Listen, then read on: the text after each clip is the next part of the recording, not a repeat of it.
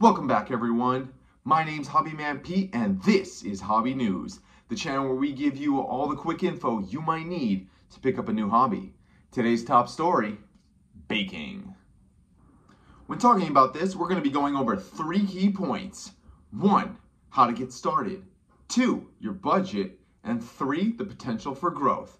Let's get started. Now, when it comes to getting started, I always like to recommend that you start with, you know, boxed packaged uh, goods from the grocery store. This is going to include things like Pillsbury or Betty Crocker cakes or, you know, cupcakes, muffins, or maybe even pancakes. Uh, the reason being is because you can do them with relative ease and cost.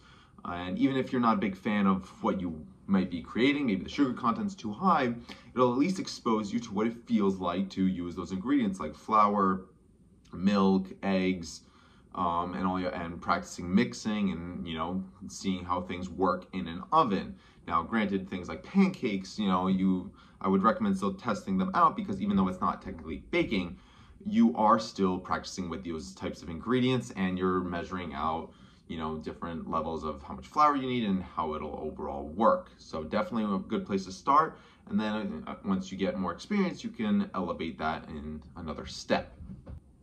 Now, the next thing we want to talk about is the budget. Now, when it comes to items like the boxed packaged goods, um, the good news is that they are relatively cheap, running about five to ten dollars for you know some Betty Crocker cake mix. And the other aspect of it that's great is that a lot of those times those pack, you know, pre-packaged uh, baked items uh, will only require you to have a few ingredients of your own. Those usually just being water, oil, some sort of vegetable oil like canola oil, and eggs. Maybe or maybe not. It's milk, but that depends on what you're baking. Always read the you know box of what what it asks for.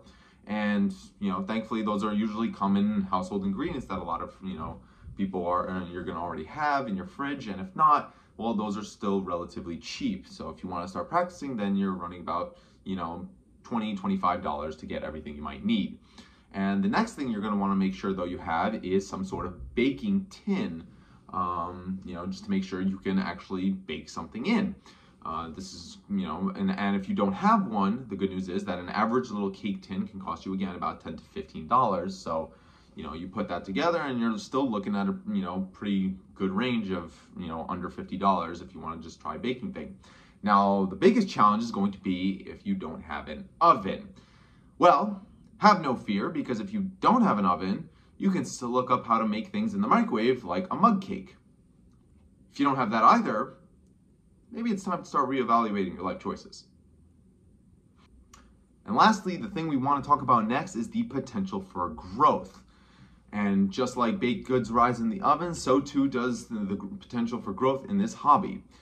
Once you finally feel comfortable enough with those boxed prepackaged goods, it's time to move on to something a little more complex. Now, usually I would recommend that you still stick to something simple, but this time using your own personal bought flour and sugar, etc., instead of that prepackaged material. And you know, try recreating the same thing, maybe another small cake or something. But if that doesn't suit your fancy, then it's time to really start looking into some recipes, either picking up a good baking cookbook or just looking up on some baking shows and seeing kind of what you want to maybe try next. Maybe you want to do some muffins, maybe you want to try scones, maybe you even want to try making your own bread, but that's a whole other thing. And once you finally feel comfortable with it, then again, it's just, you know, with any other craft, it's time to elevate it as far as you want it to go. Um, and as long as you come to love it and if you have the patience for it, then soon you'll be able to create things like this and this and this all on your own one day. So all I say, go for it and try it out. And it's always good to have another uh, skill, especially when it comes to making food for yourself, because who doesn't love food? Now, one thing you just want to keep in mind when it comes to the potential for growth is that baking is very much a science and it requires a lot of precision for measuring out exact levels, you know, comes milliliters, grams, whatever, whatever ingredient you're working with needs to be precise. And the next thing you're going to need is patience for when things inevitably don't work out. And, you know, any true patissier would tell you is that they're going to be failing a lot. And you're going to want to be able to sure that, you know, if once you fail, it's not over for you. And all you have to do is just get up and try again. Well, that's all we have here for today here at Hobby News. We hope you were able to learn something new and just maybe you'll become the next best pastry chef. Be sure to tune in next time to see what hobby we cover next and write down in the comments below. So, what do you do?